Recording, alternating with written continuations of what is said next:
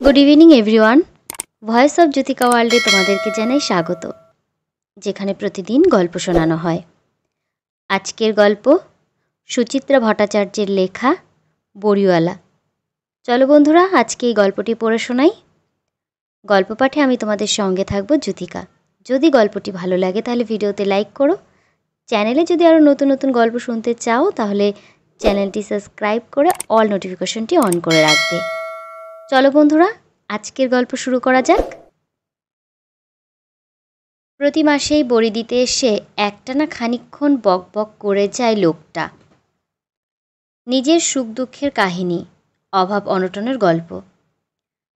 সেই কবে সব খুইয়ে ওপার বাংলা থেকে চলে এসেছিল। কীভাবে এখানে দিনের পর দিন অনাহারে কাটিয়েছে। কত যুদ্ধ করে তার বাপ জ্যাঠারা কলোনি গড়ল।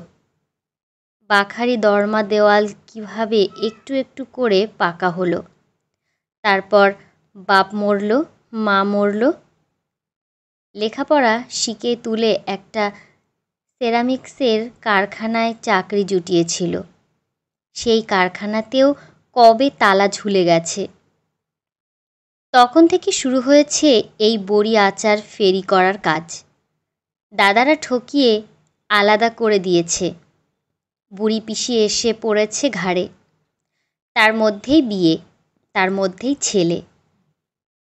শুনতে মন্দ লাগে না সুমিতার। মায়াও হয়। রোমাঞ্চ জাগে। আহারে, কত কষ্ট করেই না বেঁচে থাকে মানুষ। আজ বড়িওয়ালা একটু যেন বিমর্ষ। নীরবে বড়ি দিল। নীরবেই চলে যাচ্ছিল। সুমিতাই ডাকল। তোমার শরীর টরীর খারাপ নাকি? এক মুখ কাঁচা পাকা দাড়ি মাঝ বয়সে কপালে বলি রেখা এসে যাওয়ার মানুষটা, ম্লান মুখে বলল। ছেলেটাকে নিয়ে বড় ভাবনায় আছি বৌদি। কেন? কি হয়েছে ছেলের? আর বোধ হয় ওর পড়াশোনা চালাতে পারলাম না। নাইনে উঠল। চার পাঁচশো টাকার বই কিনতে হবে। কীভাবে যে কি করি? দিনে তো এই তিরিশ চল্লিশ টাকা রোজগার। বড়িওয়ালা বড় করে একটা শ্বাস ফেলল। ছেলেটার খুব মাথা ছিল বৌদি। অ্যালজেব্রা, জিওম্যাট্রিক সব টকাটক করে ফেলে। স্কুলের স্যাররা বলেন, সত্যবন্ধু স্কুলের নাম রাখবে। কোন স্কুলে যেন পড়ে তোমার ছেলে? কলোনির স্কুল। আগে এইট পর্যন্ত ছিল, এখন মাধ্যমিক হয়ে গেছে। তা ছেলের মাথা আছে বলছো? হেড স্যারকে বলো, যদি বই টই দিয়ে সাহায্য করেন। তারা দিয়েছেন কয়েকটা। তবু সুমিতার মনটা দয়ায় ভরে গেল। রাজা গত বছর স্টার পেয়ে মাধ্যমিক পাশ করেছে। কিন্তু ওর ইংলিশ মিডিয়াম স্কুলের বই তো নিশ্চয়ই বড়িওয়ালার ছেলের চলবে না। চট করে ঘরে গিয়ে একটা একশো টাকার নোট নিয়ে এলো সুমিতা।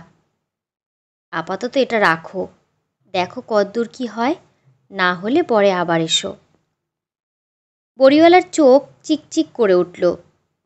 সবার প্রাণে যদি আপনার মতন দয়া মায়া থাকতো বৌদি, সামান্য বড়ি আচার নিয়েই কত লোকে কত কথা শোনায়।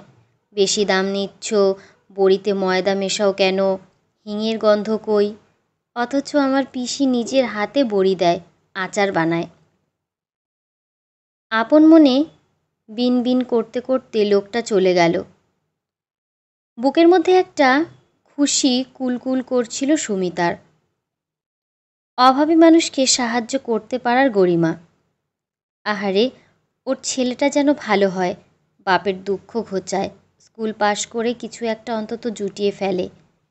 সে টুকিটাকি কোনো হাতের কাজই হোক, কি লেবারের কাজ, কি ড্রাইভারি? বছর দুয়েক কেটে গেছে। বড়িওয়ালা আজকাল আসে কম। পিসি মারা গেছে বড়িওয়ালার। সে এখন বেচে ধূপ, চানাচুর, বিস্কুট। এসব জিনিস বড় দোকান থেকেই কেনে সুমিতার বর। ফেরিওয়ালার জিনিসে তার আস্থা কম। নামি ব্র্যান্ড ছাড়া মন ওঠে না। সেদিন বিকেলে হঠাৎ জলজলে চোখে এসে হাজির বড়িওয়ালা। হাতে এক বাক্স মিষ্টি। সুমিতা বেজায় অবাক। কি ব্যাপার? এত মিষ্টি কেন? আপনার আশীর্বাদে ছেলেটা মাধ্যমিকে খুব ভালো রেজাল্ট করেছে বৌদি। ছিয়াশি পার্সেন্ট পেয়েছে পাঁচটা লেটার। অঙ্কে আটানব্বই। সুমিতা চমকে গেল। বড় বড় চোখে বলল, ও মা, তাই নাকি? বড়িওয়ালা উচ্ছ্বসিত মুখে বলল, ওর মাস্টারমশাইরা বলেছেন ওকে সায়েন্স নিয়ে পড়তে। সুমিতা গলা ঝেড়ে বলল, বাহ, ভালো, খুব ভালো। আমি ওকে জয়েন্টে বসাবো বৌদি। খেয়ে না খেয়ে যেমন করে হোক, ওকে ইঞ্জিনিয়ারিং পড়াবো, আপনার ছেলের মতন। সুমিতার মুখটা পাংশু হয়ে গেল।